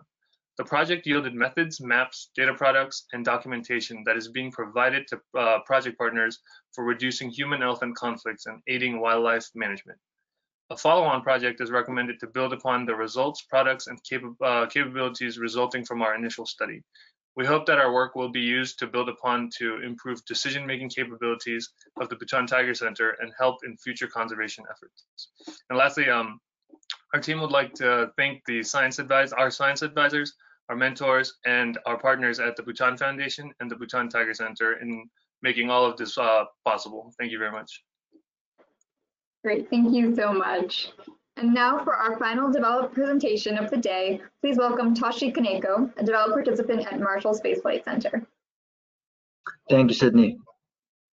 Hi, my name is Tashi, and I will be representing the Bhutan Water Resources team at the Alabama Marshall Space Flight Center and today I will be presenting the Bhutan Water Resources Project, where I will share my result where I will share the results my team and I have obtained by comparing satellite model data and the ground station data for precipitation, temperature, and phenology to assist our partners in Bhutan.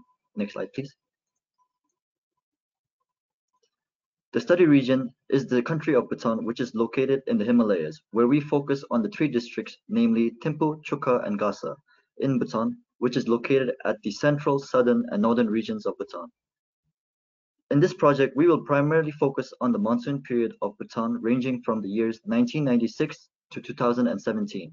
The monsoon period in Bhutan is the, is the season with the most rainfall and it ties closely with the agriculture in Bhutan. The monsoon season mainly, mainly falls under the months of June, July, and August. Our project partners for the project are the Bhutan Foundation, the HEROES project, also known as the Himalayan, Himalayan Environmental Rhythms Observation and Evaluation Systems, and the Wangchuk Institution for Conservation and Environmental Research. Moving into the communi community concerns, Bhutan experiences an increasing temperature warming, and this has resulted in several changes in its local climate, like the change in the annual total precipitation and the annual mean temperature over the past decade.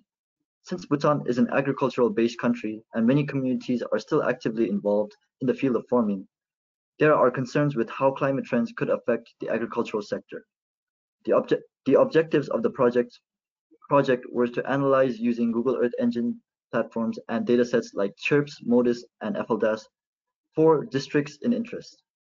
The datasets were then used to get a visual representation of the rate at which climate vari variables like precipitation, temperature, and phenology have been changing over the past years. Next slide, please. This flowchart explains how we use data from the ground and the satellite to investigate temperature, precipitation, and phenology. The in situ data for the temperature and precipitation were acquired from Bhutan, Na Bhutan National Hydrology and Meteorology, and the phenology data was acquired from the HEROES project, which is a citizen science collective. For the satellite data, precipitation, phenology, and temperature were acquired from CHIRPS, MODIS, and FLDAS using Google Earth Engine. Adjustments to the satellite model data had to be made to ensure that the data was at par with the ground data. This is because the ground data was acquired from a point location, whereas the satellite data is collected from a wider region. So the satellite data had, had to be filtered down to those regions of interest using elevation thresholds. Once the data was obtained, it was then plotted into an Excel sheet to obtain graphs. This, this is only an initial step for the project as this method can be repeated and used for further analysis within, within Bhutan and for our partners to use. Next slide, please. Here is, here is an example of one of our precipitation results. Based on the data collected from the In-situ and the CHIRPS dataset for the past years, the Chukha district was the district with the highest amounts of rainfall among the three focus districts. When comparing the two datasets, we found that the In-situ data was lower than the satellite model data. This is because the satellite data looks into a wider region as compared to a point location of the ground data. An interesting find is that both the trend lines for the rainfall has been increasing over the past years. A point to be noted is that the green area on the map represents the regions of interest, which is found using the elevation thresholds, and the red dot represents the ground station. Next slide, please. In a nutshell, these visual representations and comparisons of datasets has helped us understand the changes that are taking place within Bhutan. This can help our partners and the people of Bhutan understand how climate variables like temperature and precipitation has changed over the past years. As per limitations, the model data had to be adjusted to account for elevation, which explains the variation in trends. There were also limited availability in in-situ data making it difficult to match with the satellite data. It's highly possible that there are potential human errors while collecting data as well. For future work, it is crucial to place more emphasis on how these climate trends has impacted Bhutan's agricultural lifestyle and its implication for farmer, local farmers in the country. More research can be done to further examine the role precipitation and temperature have had on phenological trends and crop blooming. Lastly, I would like to thank Develop and our partners and our project partners for giving us the opportunity and helping us develop our skills and understanding more about our country. Thank you. Thank you so much, Tashi. Great job. To round out our water resources presentations today, please welcome Dr. Hyongki Lee from the University of Houston. Thank you for joining us. Hi, everyone. Uh, my name is Hyongki Lee from uh, University of Houston, and today uh, I'm going to talk about the uh, status of my project in Lower Mekong. And I would like to first thank um, Brad and John for supporting this project, and also Nancy and SERVIR team uh, for their support as well. Uh, I would like to also thank my PhD students, Chung Chang and Tien Du, and also uh, Dr. Dung Bui from NAWAPI of Vietnam, and also SERVIR Mekong. Uh, the picture on the, on the left that you see is the Tonle Lake, um, which is the largest uh, lake in Southeast Asia that I've taken last February during the SAGE event. And the picture on the right shows the uh, floating village around the lake. And the man in the middle is showing the high water mark on the utility pole. So we can observe the dramatic difference the local people experience uh, between the high and low water seasons. Next slide, please. So to give you a little bit of background, Mekong River is a transboundary river flowing through uh, six countries, and uh, it provides uh, important uh, source of water uh, to the inhabitants. Um, even though the Mekong River Commission uh, provides river level monitoring and forecasting uh, for the people to its member countries, but only at 22 hydrological stations at the main stem. And also in practice, the data sharing can be uh, you know, uh, tricky in practice. So therefore, uh, we wanted to answer these two questions uh, which is how can we transfer information from a gauge to ungauged catchments, in this case from uh, Vietnam to outside Vietnam.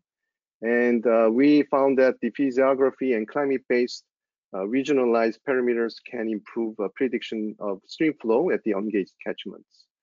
The second question is that how can we uh, evaluate model performance at uh, ungauged basins. And uh, we developed a altimeter derived water level based flow correlation method, which can uh, evaluate model performance at the ungauged basins. So the answer to these questions are important to Vietnam because uh, half of 13 basins in Vietnam is transboundary and Vietnam is in downstream. So it's important to develop a method that the downstream countries can independently access the water resource informations in the upstream parts. So um, uh, my PhD student, uh, Tien Du, has successfully developed um, a hydrological model uh, and set it up over the uh, greater Mekong region. uh, based on the findings from these two uh, key questions. And the National Center for Water Resources Planning and Investigation, or NAWP in short, of Vietnam, has adopted uh, the HYPE model and developing this uh, web application portal. Uh, next slide, please. So this ASEAN water portal uh, provides the historical uh, monthly and annual water balances, and also historical daily stream flow, uh, precipitation, evaporation, temperature, and so on. And we are currently working on providing the short-term and uh, long-term uh, seasonal forecast of the stream flow. And also the climate change impacts on the water resources is going to be provided from the web portal soon. So we can ask this question, why do we need such web portal? Well, uh, as a national agency, NAWP is mandated to uh, publish uh, newsletters about the forecast of the water resources. Um, but uh, the, their uh, current uh, forecasting capability is based on experiences or a real-time meteorological data set, which can be often inaccurate. Um, and also um, the newsletters uh, the, that the other uh, sectors such as uh, industry, agriculture, or transportation department use uh, can be um, misinterpreted due to the jargon used in the newsletters. And also the communications between non-water and non-water departments uh, can be also um, not uh, very um, um, fluent. So um, So uh, we therefore expect this uh, web service can effectively uh, provide a um, uh, easy to understand information directly uh, directly to the water users. Next slide, please. Now, yeah, now uh, let's talk about um, another application, which is flood. So Mekong River Basin is also one of the most flood-prone regions in the world. And as a victim of Hurricane Harvey, I see that the forecasting inundation extent is incredibly vital information while I while uh, watching my uh, cord got inundated. So the picture on the uh, top right uh, shows a touching moment of a lady playing uh, Amazing Grace with her flooded piano for the last time. So although Houston has this uh, operational real-time inundation mapping system, we don't have inundation forecasting system. And even I, uh, the in-situ gauge uh, at a reservoir has been blacked out for five days, uh, which is located upstream of the Buffalo Bayou, which flows through the heart of the Houston. So not only the fourth largest city in US, but also Lower Mekong doesn't have such an inundation forecasting system. And the existing methods may not be appropriate or difficult to be applied over more uh, over Lower Mekong. So we wanted to develop a skillful but simple approach. Next slide, please. So we developed a new method uh, forecasting inundation extents using REOF. We named it as FIER. And it uses the historical SAR images along with historical water levels or discharges. And from that, we can build a regression model. And then with the forecasted water levels or discharges, uh, we can generate the simulated forecasted uh, SAR images. So from those uh, forecasted SAR images, then we can develop uh, forecasted inundation extents. So overall, FIER needs this uh, for, uh, water levels or discharges from an external source. And uh, coincidentally, FIER means uh, mate or friend in Old English. So we have successfully applied this FIER to the Tonle Sap Lake. Can you play the animation? Yeah, so uh, we applied the FIER over these Tonle Sap Lake floodplains, and this animation shows the uh, daily cloud-free uh, forecasted inundation extents over the region, and we can clearly see its daily variation. Next slide, please. Now we want to uh, expand the study region to the entire Lower Mekong, uh, but the Lower Mekong, is, Lower Mekong Basin is a very complex uh, hydrologic system. So we have to consider not only the, uh, the Tonle Sap Lake level variation, but also the variations over the uh, Mekong main stem and also the Mekong Delta. But fortunately, uh, we can forecast the Tonle Sap Lake level from our previous study and forecast of uh, Mekong main stem from Mekong River Commission's operational river level forecasting system and obtain the forecast of uh, Mekong Delta water level from our previous study, which has been uh, supported by SERVIR. So um, we are working with currently with MRC since MRC CEO expressed the needs of uh, the inundation forecasting system to complement their operational river level forecasting system. So we're currently working with MRC uh, connected and supported by SERVIR Mekong. Next slide, please. Now I would like to think uh, even bigger. So the uh, top figure shows the output of the very first version of Jason-2 altimeter tool uh, that I developed in 2013 for the flood forecasting system for Bangladesh, uh, led by my uh, colleague Faisal Hossain at University of Washington. Then later in 2017, we developed this automated version of uh, satellite, satellite altimetry toolkit, which has been later adopted by SERVIR to uh, develop that uh, web application. So it took about uh, seven years uh, from the very first version of uh, Jason altimetry tool to this uh, user-friendly one. So I would like to suggest that we think about and um, building the global inundation forecasting system now.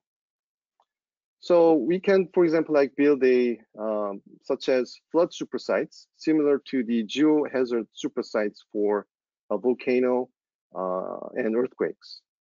So we can use uh, for the global discharge data set, we can use uh, GEOGloWS developed by uh, Jim Nelson at Brigham Young University. And for uh, the processing of historical SAR images, we can use a cloud-based SAR data processing tool uh, developed by Franz Meyer at the University of Alaska at Fairbanks. So it is expected that such global inundation monitoring and forecasting system uh, can mitigate the uh, flood risk by predicting the spatial uh, flood hazard. Next, please. That's it, and thank you for your attention, and I'd be happy to answer any questions by email. Thank you. Great, thank you so much, Dr. Lee. We're now going to take a brief pause to complete one more poll for the week. So please take a moment and answer the poll, and we will resume shortly.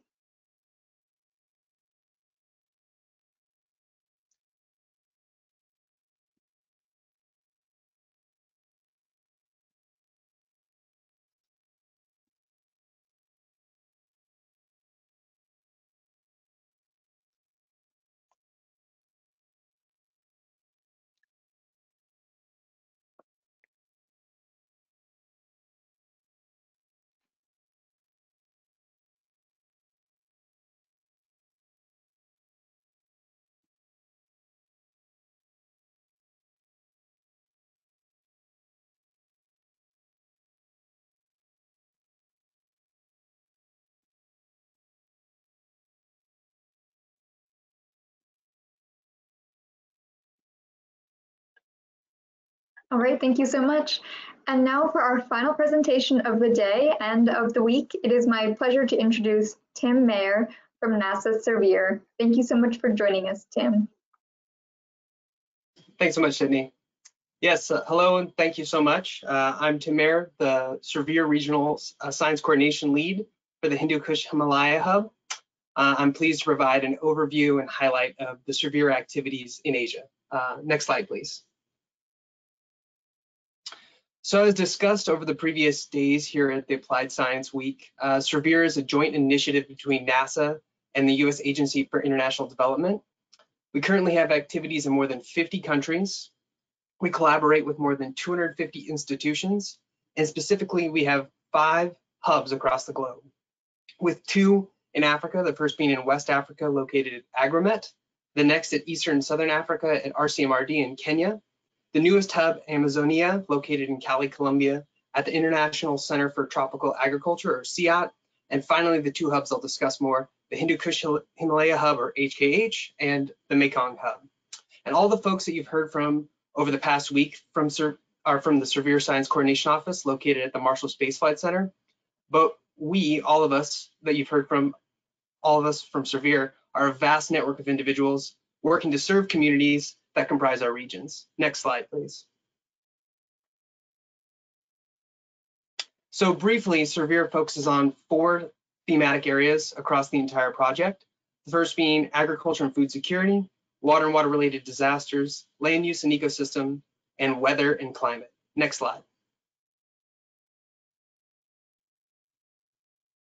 Now regarding the SERVIR HKH or Hindu Kush Himalaya Hub, the hub was established in 2010 and just signed a five-year grant to continue efforts going forward. The host institution is the International Center for Integrated Mountain Development, or ICIMOD, located in Kathmandu. And the countries supported by SERVIR HKH are, are Afghanistan, Bangladesh, Pakistan, Nepal, and Myanmar. And here's a brief list of the ongoing services that HKH is providing to the region. And I'll discuss the regional land cover monitoring service in the preceding slides. Uh, next slide, please. So in addition to the services that SERVIR HKH provides to the region, the hub is also working with the selected applied science team or ASTs for the hub to investigate the cutting edge techniques and methods to bring that information into and those approaches into the services themselves. So specifically, the hub is working with uh, Dr. Liping Di and team to incorporate the agroinformatic remote sensing products to complement the hub's current efforts to support food security decision making in the region. The hub is also working with AST Dr. Franz Meyer and team to leverage cloud-based SAR products to more effectively monitor the hydrologic cycle. The hub is also working with Dr. Peter Potapov and team to operationalize and improve the remote sensing products as part of the regional land cover monitoring system. And lastly, the hub is working with AST Dr. Emily Berndt and Dr. Aaron Naeger on implementing advanced air quality monitoring and prediction products into the HKH region. Next slide. So now switching over to the SERVIR Mekong, this hub was established in 2014 and the host institution is the Asian Disaster Preparedness Center or ADPC, which is located in Bangkok, Thailand. And additionally, this hub is a consortium model which has additional expertise and efforts provided by the Stockholm Environmental Institute or SEI, the Spatial Informatics Group, SIG, and Deltares. And the countries supported by SERVIR Mekong are Thailand, Laos, Vietnam, Cambodia, and the shared focus country with HKH of Myanmar. And again, here's a short snapshot of the ongoing services that SERVIR Mekong is providing to the region. I'll touch on the land cover monitoring system, as I mentioned before, as well as supporting Myanmar to respond to floods. And since I have a short amount of time to present today, I'll only highlight two of these services, but please look at the SERVIR service catalog as a complete collection of all the services across all of the various hubs. Uh, next slide. So just the same as HKH, SERVIR is working hand in hand with a new round of applied science team members. Um, first, the hub is working with AST Dr. Robert Kennedy and team to integrate disturbance and vegetation mapping using cloud computing to more effectively monitor the lower Mekong. Continuing his efforts, AST Dr. Narendra Das and team are working with the hub to utilize the RHEAS system to provide crop forecasts, which is essential for ongoing food security services in the lower Mekong. Also, AST Dr. Dalia Kirschbaum and team are working with the hub to provide remote sensing products to more effectively assess landslide hazards in the lower Mekong. And lastly, the hub is working with AST Dr. Hyongki Lee and team, who we just had an opportunity to hear from, and specifically he's continuing his efforts to operationalize altimetry, SAR, and model data to meet the needs for more informed hydrologic mo monitoring in the lower Mekong. Uh, next slide. So with my remaining time, I wanted to highlight two services uh, for the SERVIR HKH and the SERVIR Mekong region. Uh, next slide. So the Hindu Kush Himalaya and the lower Mekong regions have experienced dramatic and rapid land cover change in recent years.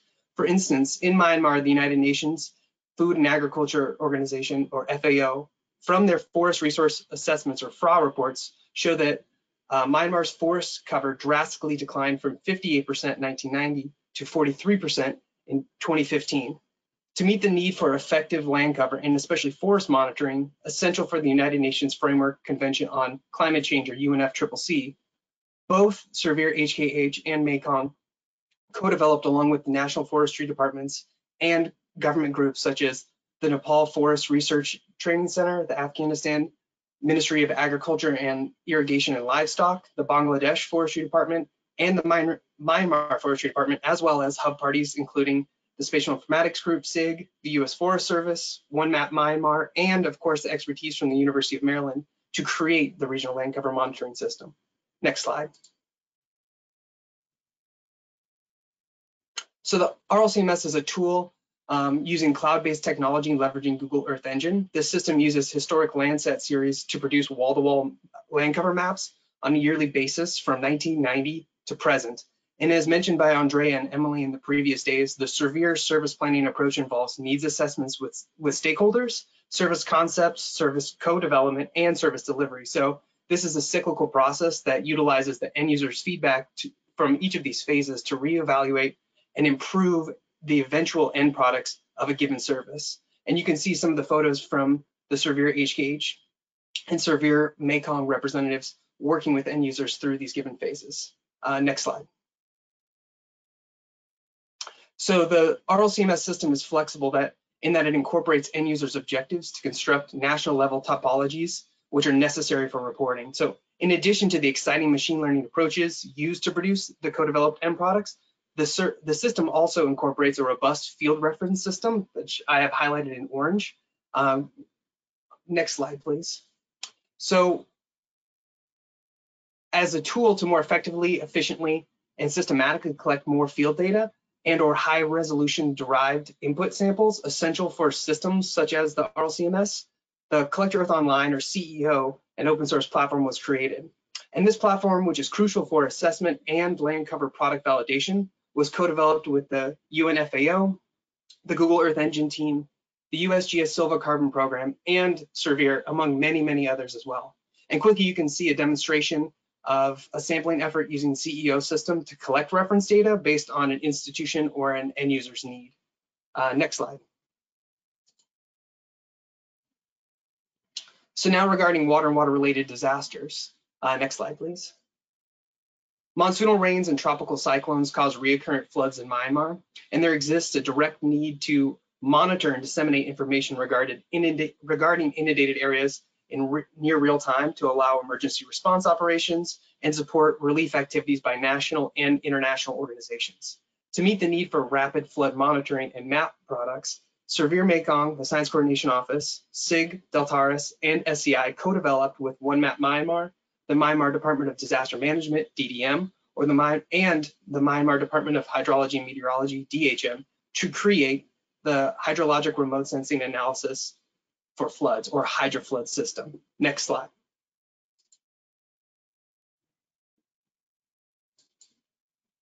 The hydroflood system, the hydrofloods tool em employs the most recently available optical and active passive microwave remote sensing data from MODIS, VIIRS, ATMS, Sentinel-1, Sentinel-2, and Landsat to generate surface maps, surface water maps, enabling more timely and in-depth analysis and monitoring of flood events. And you can see a, a quick visualization of inundated areas derived from hydroflood system over the last year's monsoon season.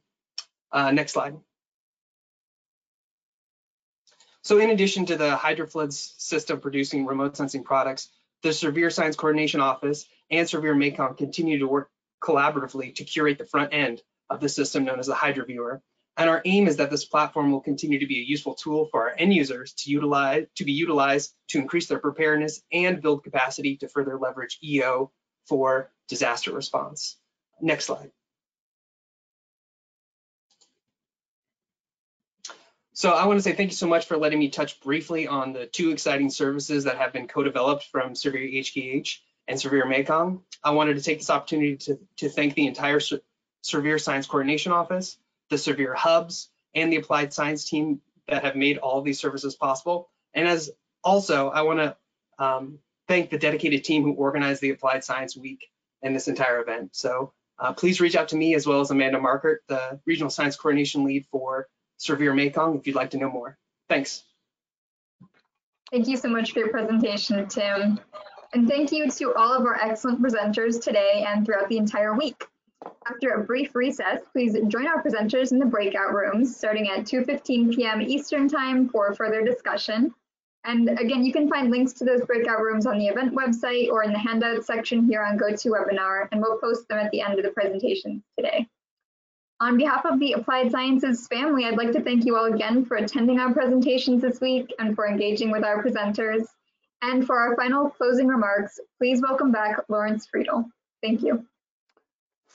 Great, thank you, Sydney. A fantastic job this week as our MC, um, sending out a nice applause to you. So again, thank you, Sydney, uh, and really thanks to all the speakers uh, and to the special guests. Uh, thanks to the attendees. Today we had over 200 which puts us over a thousand for the week, um, which is just fantastic. Uh, over the week, we had 44 talks and, and all those different examples. Um, we covered the Western US, Central US, Eastern US. Um, we covered Americas, Asia, Africa. Um, we went global with partnerships uh, as well as the United Nations Sustainable Development Goals. Um, we spanned from across the Earth Science Division, uh, where we had we heard from the head of the research program, the head of the data systems program, as well as both the director and deputy director of the Earth Science Division. Um, in addition, we had the Mapathon as well as the breakout sessions, which I certainly hope you're going to join this last last bit um, in a little bit. So, so as I mentioned on Monday, um, nothing in Earth Science application makes sense except in the light of service and partnerships. Uh, and that was really on display all week long. Um, so on behalf of NASA, um, thanks to the partners, thanks to your collaboration, thanks to exploring the benefits with uh, the, the benefits of Earth observations. Thank you working for the develop with the developed teams. Thank you work for working with all of our Earth science application teams. Uh, and thank you for your trust in us in taking a risk uh, to use Earth observations or to see where it had value. Uh, we really, really appreciate your partnership. We really appreciate your collaboration. Um, and also a huge shout out to all of the developers. Um, these 15 projects that we heard about this week um, are were fantastic. Um, we're excited about what they've done. We're excited about your future, uh, and and, um, and really just congratulations. Um, thanks for joining the Develop program uh, for this summer term. And for those of you who have been more than one term, thank you for coming back. Good luck in all your future endeavors. Um, we certainly hope you'll consider becoming a Develop Fellow. Um, and, uh, and please tell your friends and, and your colleagues and all about, um, about Develop as an opportunity. To all of the friends and parents and siblings of the developers who may be online, um, you can be really proud of, of what they've done. Um, they really, really rocked it. Um, and with this slide, another group that really rocked it was the planning committee. Uh, this team just did just did fantastic things over the last uh, the last several weeks and the last several months. Um, there's lots of people to thank. Um, obviously, a lot of them are right there on the screen. Um, I really encourage them actually to turn on their cameras so that people can take a look. Um, and I hope everyone can give them a thanks in, in some way. Um, and they're why you knew about Applied Sciences Week.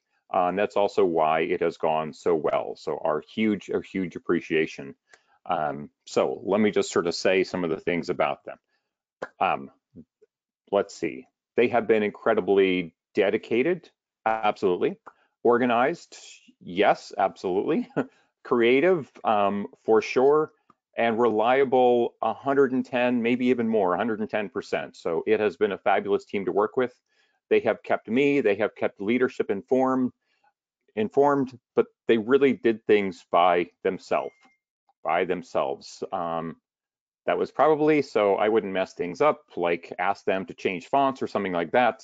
Um, but really, they just did a fantastic job and just worked so independently. So a huge thanks, thanks to them. So I know we're we're giving shout outs to you all and we're all giving muted applause to you all. So thank you very much. Um, and while it's all gone really well, we certainly hope that next year we're not doing this virtually. Maybe we do some combination next year of in-person uh, with a virtual attendance and all.